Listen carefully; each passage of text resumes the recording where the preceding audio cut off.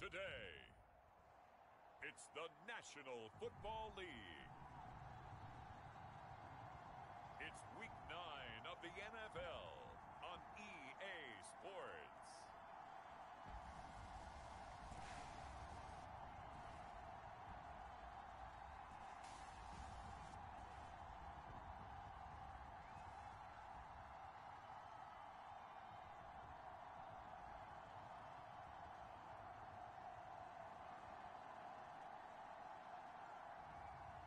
Joe Burrow and the Chicago Blues versus Deshaun Watson and the Mexico City Diablos.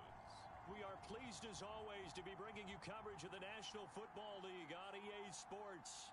Nothing like the fanfare. Are They kind of right where you thought that they would be. Do you mind if I say yes, yes, and yes? because ultimately to me, four and four is about where they should be because we've seen weeks where they've been really, really good. They've looked terrific. Other weeks where we wondered just how good is this team. They want to be consistent in their play, not consistently inconsistent, which is what they've been thus far. Well, that tight end position, it just seems to get people in the open field, everyone getting their feet wet early. And his kick is indeed good. And with that, they will move out in front by three. Good defense.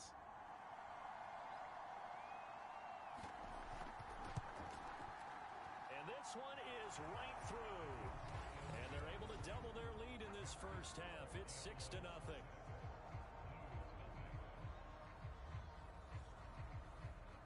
So they wind up. This one from 48 yards away. McPherson's kick is good. And they are on the board, trailing now 6 to 3. It's down about the 39. The shot before the break, Watson. He'll find Schwartz complete right side. And they're going to be set up down around the 15-yard line. So if you like field goals, this is your game. Now a handoff here to his running back. And he is in. Touchdown, Chicago. A great effort there. His third touchdown now on the year. And have taken the lead. And as many coaches' meetings as we sit in, we hear the word finish all the time, don't we? And on that play, the back actually finished getting into the end zone, breaking the last tackle. Tried to wrap up, tried to use the proper, get those blocking assignments down. Those two-yard gains turn into bigger gains as the game moves along. From midfield now, Burrow. That one taken in by Tee Higgins. And past the 35, he'll be a yard or two shy of the 30. Well, that should be a reminder defensively, and I think it's a reminder to myself because you just can't sell out to stop the run. There's still enough time that this offense can move the football through the air, even on first and second downs, and they obviously picked the right spot to throw the ball there. From the 32 now, here's first and 10.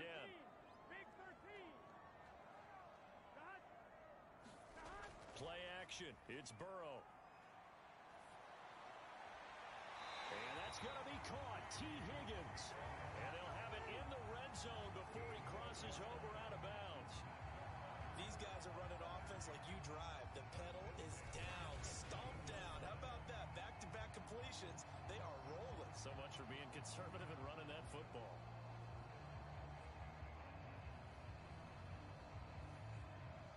So from the 17 now, here's a first. It's not short enough that it's a no-brainer and you go for it. You have to analyze this one. To me, you take the field goal, take the points. I don't think you want to risk coming away with nothing. McPherson's kick is good. And that'll open the lead up to a touchdown now at 13 to 6.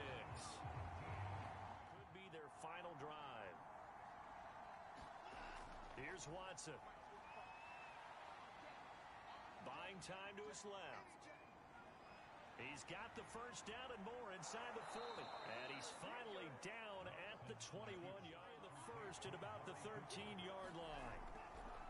Desperation time. Watson on fourth down. And this is going to be intercepted. Picked up by Jessie Bates.